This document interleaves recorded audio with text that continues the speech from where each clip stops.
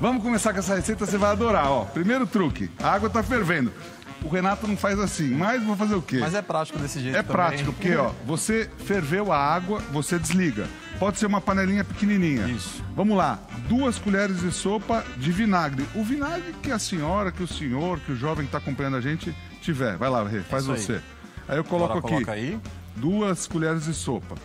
Aí é o seguinte, eu vou quebrar um ovo aqui. Isso. É interessante sempre quebrar o ovo na numa Fora. xícara ou numa concha de feijão, que fica mais fácil de você colocar. Do jeitinho que a Maria ensinou pra gente. É isso aí também. É bom ver que não vai estar estragado, né? Pra garantir. É. Aí, ó, Daí aqui a gente vai pegar uma colher e vai mexer. e vai mexer até ele formar um redemoinho aqui no centro. Daí vai colocar o ovo aí.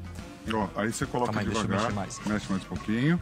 Ó, mexe com ele, deixa em rotação ali, ó. Isso. Assim mesmo. Já tá com vinagre lá E dentro, com hein? o fogo desligado. Pronto, O fogo pode pôr.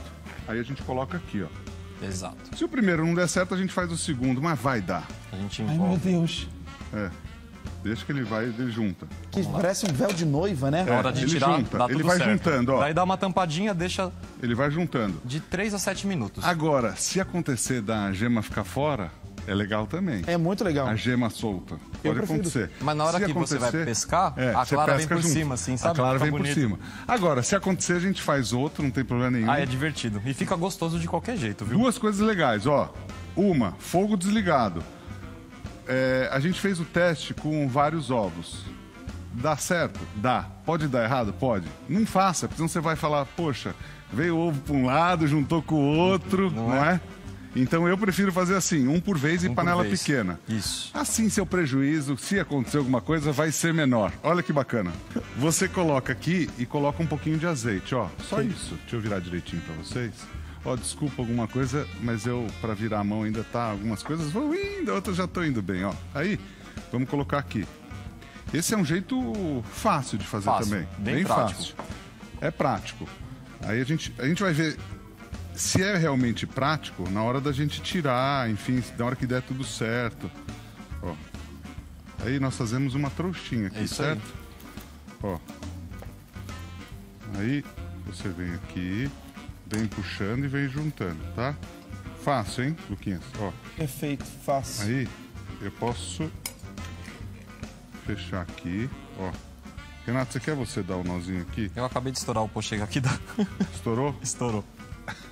Não, É. olha, eu vou falar a verdade pra vocês. pra mim ainda parece apetitoso. Não, mas ele dá pra servir também, não tem Por problema favor, nenhum. por favor. Mas a gente já vai fazer outro. Que eu Peraí. como, como feliz da vida.